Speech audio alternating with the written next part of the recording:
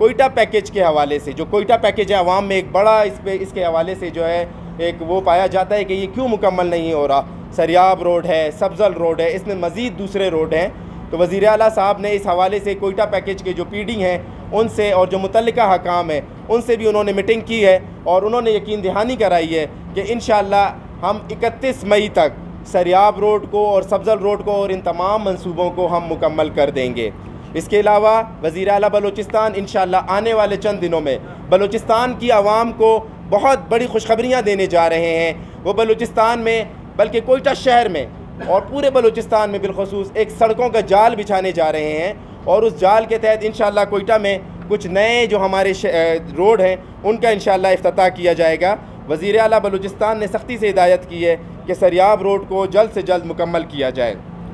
अच्छा एक शेर पढ़ूँगा, उसके अलावा उसके बाद फिर मैं आपकी खिदमत में कुछ अर्ज़ करूँगा।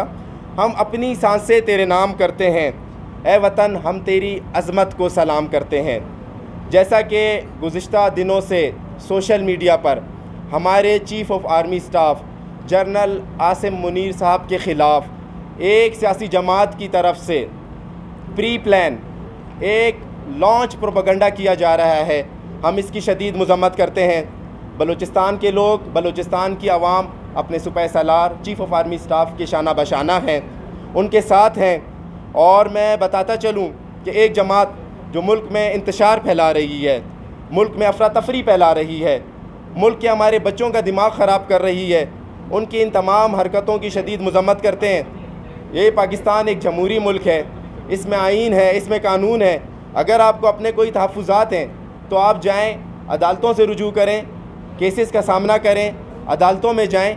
ये कोई तरीका नहीं है कि आप हमारी फ़ौज के सरबराह पर अदारों पर इल्ज़ाम लगाएँ और बेबुनियाद इल्ज़ाम लगाएँ। आपके पास कोई सबूत नहीं है तो इस अमल की मैं शदीद मजम्मत करता हूँ। अब मज़ीद आपसे कोऑर्डिनेटर वज़ी अला बलुस्तान मैडम शानिया बात करेंगी। बसमीम मेरे भाई बाबर ने आप लोगों को जो सूरत हाल थी, उन सबसे आप लोगों को आगाह कर दिया है। एंड में, मैं सिर्फ़ इतना कंक्लूड करती चलूँ कि जो पीटीआई की वजह से पूरे मुल्क में जो एक गहमा गहमी का जो सूरत हाल सब में नज़र आ रही है तो मेरी सबसे रिक्वेस्ट है, सारे हमारे पाकिस्तानी बहन भाइयों से मेरी रिक्वेस्ट है कि खुदारा इस प्रोपोगंडे का हिस्सा ना बने और कोशिश करें अपने बच्चों को, अपने अजीज़ों को इस प्रोपोगंडे से दूर रखें। मैंने पहले भी बयान दिया था, अब आज फिर बोल रही हूँ कि अगर इमरान खान को पाकिस्तान से इतनी ही मोहब्बत थी तो वो उसने अपने बच्चों को क्यों नहीं बुलाया? इस पूरे प्रोपोगंडे में शामिल होने के लिए इसने अपने बच्चों को क्यों नहीं बुलाया? हमारे बच्चों को क्यों इस्तेमाल किया जा रहा है? हमारे यूथ को क्यों इस्तेमाल किया जा रहा है? हमारी यूथ का फ्यूचर इमरान खान ख़राब कर रहा है। खुदारा मेरी रिक्वेस्ट है कि अपने बच्चों को जो है और स्पेशली पीटीआई से तो दूर ही रखें। हर जलसे में हमारे बच्चे नज़र आते हैं हर आ, कोई फसाद होता है कुछ होता है रोड ब्लॉक होता है तो हमारे जो है वो स्टूडेंट वहाँ नज़र आते हैं। तो हमें ये समझना चाहिए कि ये जो है गलत कर रहा है। इंडिया के एक चैनल पे एक ऑफिसर ने ये बयान दिया है कि जो काम हम नहीं कर सके, वो इमरान खान कर रहे हैं।